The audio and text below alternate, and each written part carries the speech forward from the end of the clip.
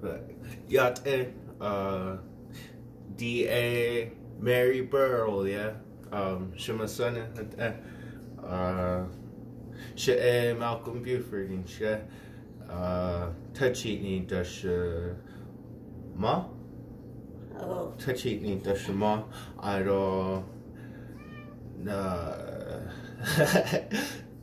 I, I don't know how to say the clan system. I'm trying to introduce myself. I'm trying to say I'm Tachitni. That's my grandma. Tachi Otto. My Nola, my grandma. My dad's mom who is a Mexican, so I say Nakai, not Nakai Jane, so I say Mosa.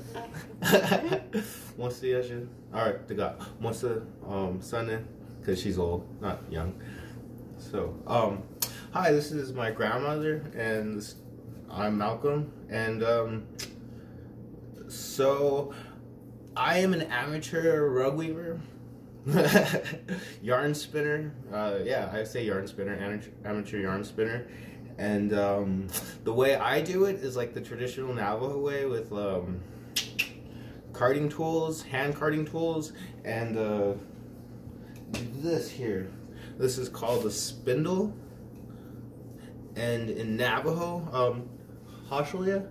but this, Bed is it? Eh. I don't know why I said eh.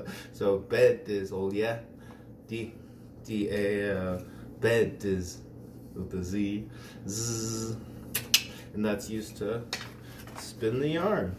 Okay, so okay, so in the Navajo tradition, you have four clans. You have your um, mom's mother's clan, or your mom's first clan, which is for me would be Touchy would be her. That's my mom's mother. And then the next clan would be your dad's mom, and so I say I'm Mexican. And then after that, you would say your mom's dad's clan, and I would say uh, Nanist Eja Dene, and um, that translates to the Zuni clan. And for my last clan, since like we're non-Navajo there, I would say um, Ginny. that's it's a derogatory term, but yeah, that's like the that's how you say you're black, basically. So tho- those are my four clans, or that's how I would introduce myself in Navajo. So okay, the after you got the spindle, and then you got the carding tool here, the hand card tool. So di hashlia beheni chade oh, beheni chade. That's this. So with here, this is where you start the yarn making process. behind chade, Behani chade. oh, I might be saying it wrong because. So this is where you start. You get your carding tool. Make sure it's clean. There's nothing on it. You can see little bits of hair on mine, but that's fine. Since we're doing the same color, you're gonna take this. This is raw wool. After I sheared the sheep, I washed it, I bleached it, I took all the oil and grease out. So you're left with little clumps of this stuff, and that's what you make your yarn out of. So this is where grandma comes in handy because I didn't know what to do, and she grew up doing this as a little girl, and she wove rugs and all sorts of things. So she was a big help in learning how to do this. In YouTube, I was looking at YouTube videos, and the, I had a teacher showed me, showed me once or twice. his shoulders are in Shh.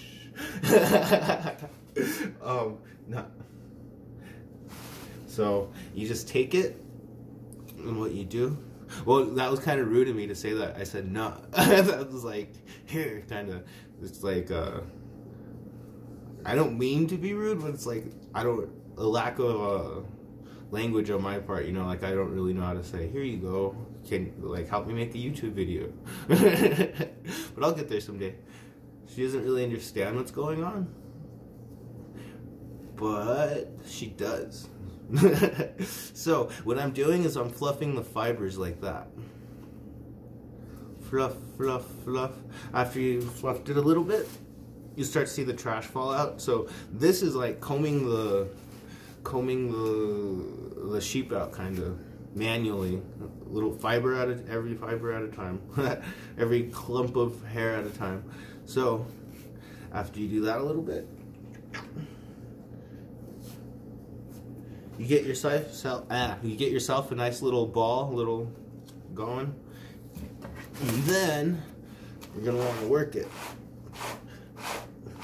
This part is kind of easy. You don't want to apply too much pressure, but you don't want to do it too lightly because then nothing's gonna happen. So just go ahead and keep going, same direction. Brush down, pull up, down, pull up, and then you just keep going.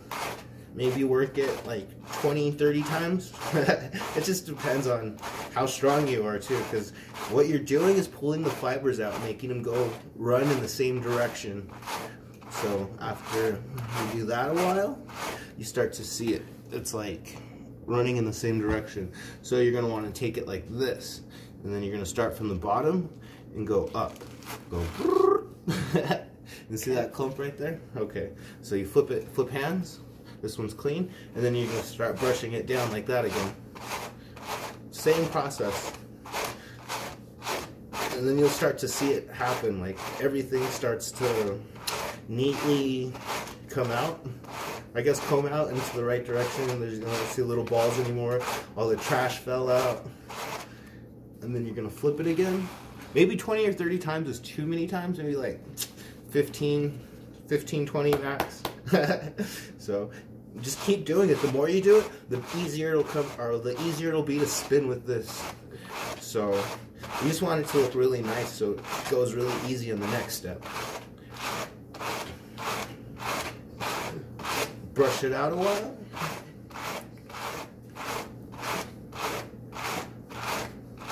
See that first step I was doing? That's what she's doing. She's like fluffing it. And it really does help me having her do that. It's like cheating in a way because someone's doing the first step for me. But she gets bored, you know, like she can't read, but she looks likes looking at magazines, but that does get boring. So it's like mental stimulation. so just keep brushing the crap out of there. Flip it. Do it again. Take everything off. This one's clean. Hmm. And then just one more time. Just keep going. The more you do it, the better it comes out. There's no limit to how many times you do this. Just personal preference, I guess. Just how clean you want your yarn to come out at the final product. So, let's see.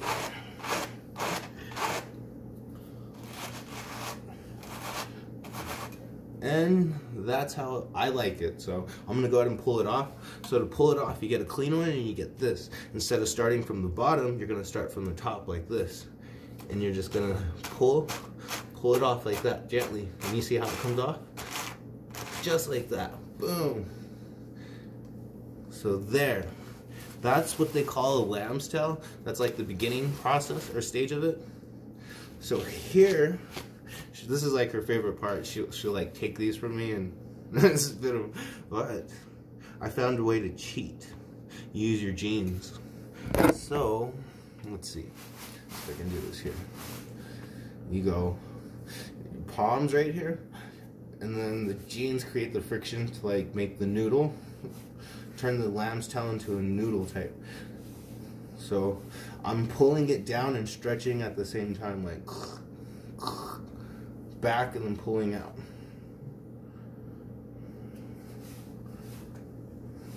And then you can start to see how the noodle gets thin and longer. You just do this as much as you want. Well, not as much as you want, to like a decent size. And just um, be careful because if you do it too hard or don't do it enough, it'll start to fall apart and then you gotta card it again to make it stick again or make some yarn. So there, that's the length that came out. So, let's see. Got some trash on there.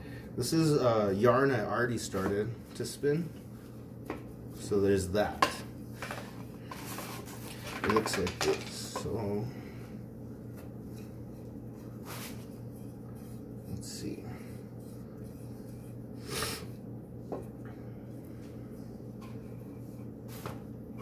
Um, I think I'm just gonna start it start it new. So I'm just gonna wind this up and push it down there.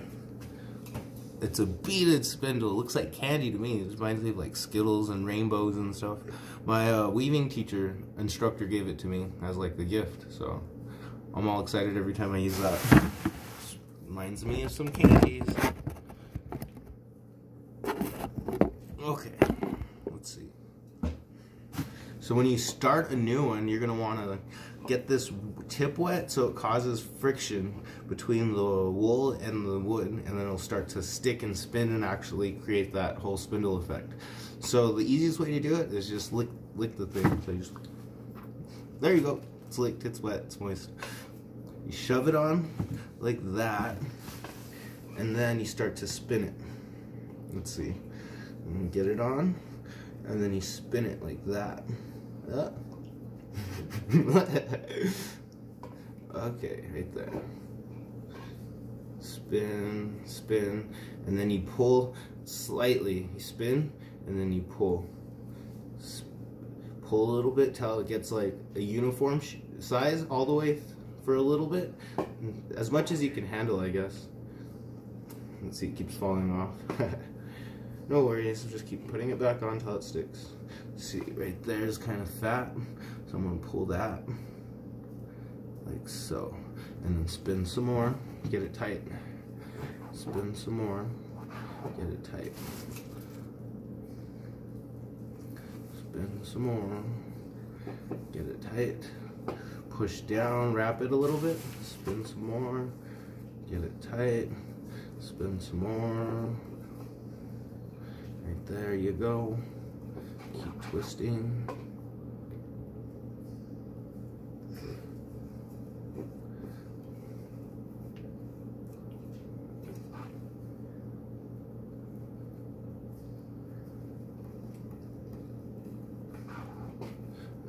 There you go.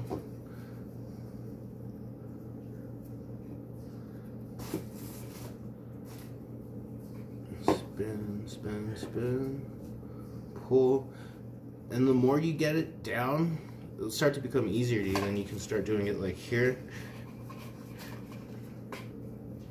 Wind up some more. Pull that out. Fluff. Spin. Get it tight. This is just like the beginning beginning noodle, so it takes takes a little time to get it started, but once you get it going, it goes pretty easy. Spin, spin, spin.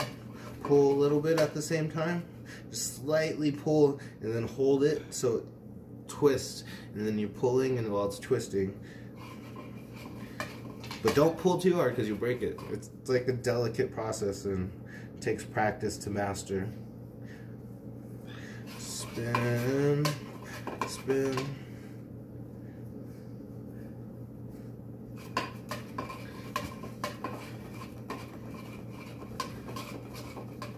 Starts to get easy at a, like a longer length, so, but it it's uh gets thicker, so it's like you have to come bring it back down here to get the consistency.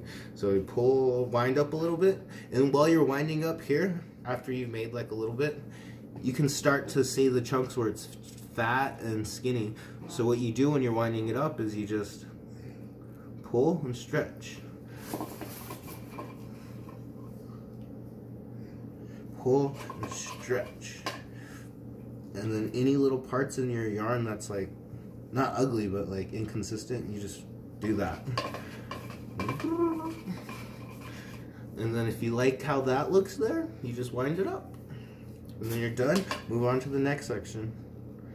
And then you just keep going until you're done with the noodle and then you connect another noodle. So,